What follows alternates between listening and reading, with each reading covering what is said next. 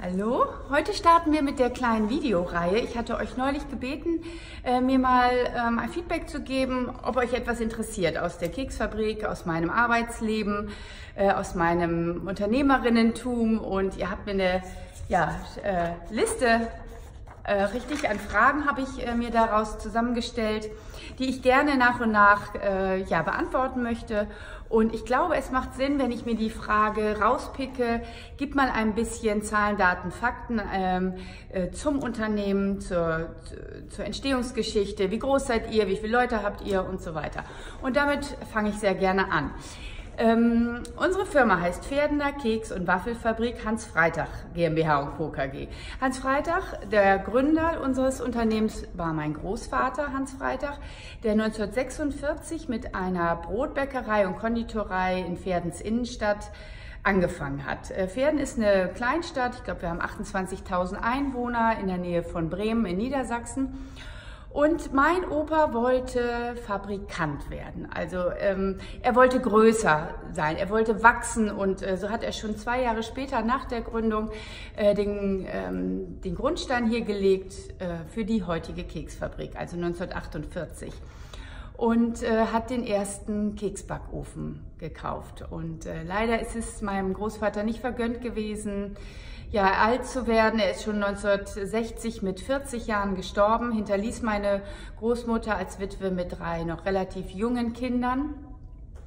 Eins davon war mein Vater, auch Hans Freitag, äh, der zusammen mit ähm, seiner älteren Schwester auch und äh, meiner Oma eben dieses Unternehmen weiterführen wollte.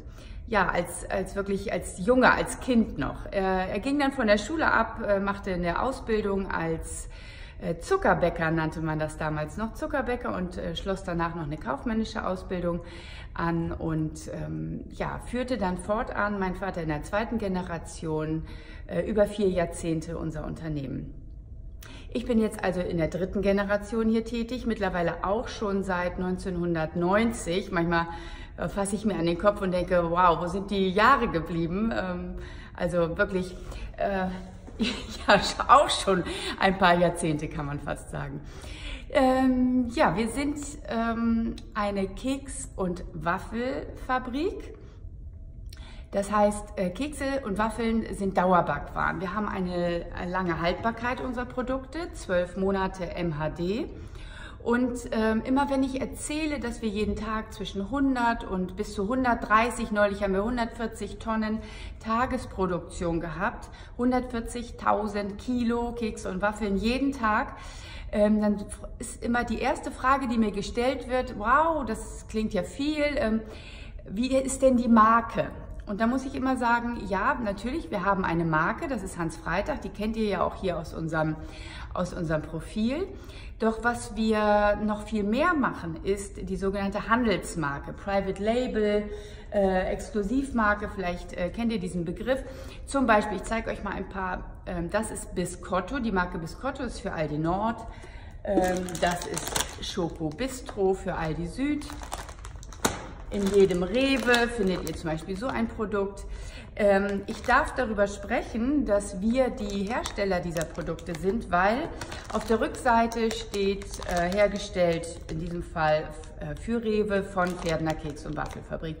Immer da, wenn wir auf der Rückseite der Verpackung als Hersteller genannt sind, spreche ich auch drüber. Nicht äh, richtig proaktiv, aber ähm, dann ist es eben kein Geheimnis, dass wir in dieser Verpackung stecken. Es gibt aber auch Kunden, die wünschen sich, dass das eben nicht kommuniziert wird. Ähm, die möchten, dass ihre Marke als ihre Marke eben ausschließlich wahrgenommen wird. Und das ist das, äh, wo unsere viele Tonnage bleibt, nämlich in den Handelsmarken. Das ist schon seit jeher unser Geschäftsmodell. Wir stellen schon Handelsmarken 50, über 50 Jahre her. Und ähm, einerseits wird man dadurch natürlich als Marke, in dem Fall Hans Freitag, der breiten Öffentlichkeit, dem Endverbraucher, nicht äh, sehr präsent oder nicht sehr bekannt. Aber es hat eben auch den großen Vorteil, dass es eine enge Partnerschaft mit dem Handel bedeutet und wir ähm, ja, mit dem, äh, mit dem Handel zusammen neue Produkte entwickeln, auch wachsen können. Wenn der Handel wächst, dann wachsen wir automatisch mit und ähm, das hat viele Vorteile und es ist eben so unser Geschäftsmodell. Einfach um das nochmal zu erklären, wenn ich immer von der hohen Tonnage spreche äh, und dann die Frage kommt, wo bleibt die ganze Ware? Also ähm, wir, man könnte fast sagen, wir sind in fast jedem deutschen Supermarkt oder Discounter vertreten, nur sieht man es oft nicht. Vielleicht äh, macht ihr euch hin und wieder die Mühe, dreht mal so eine Tüte um und wenn ihr dann unseren Namen seht, dann wisst ihr, dass das aus unserer Fabrik kommt. Ja, ich, äh, dritte Generation, sagte ich eben. Ich bin, äh, ich werde 50 dieses Jahr. Ich habe zwei erwachsene Kinder. Äh, liebe diesen Job, diese, diese Firma, ja, sehr, sehr von Herzen. Und äh, für mich hätte es keinen besseren Job geben können. Natürlich wurde es in so einem Familienunternehmen auch immer erwartet, dass ich diese Aufgabe übernehme. Ich habe noch zwei Schwestern. Ich bin die älteste von, von den drei äh, von dem Drei-Mädel-Haus und ähm, äh, habe diese Führungsaufgabe alleine übernommen. Äh, mittlerweile haben wir hier am Standort, nicht nur an diesem Standort, es ist unser einziger Standort, äh, wir haben hier 330 Mitarbeiter, ähm, produzieren zweischichtig, überwiegend aber auch immer mehr dreischichtig, äh, wie gesagt, diese über 120 Tonnen äh, am Tag. Wir exportieren in 50 Länder dieser Welt. Das ähm, kann man mit unseren Produkten sehr gut machen, weil sie eben dieses lange Haltbarkeitsdatum haben.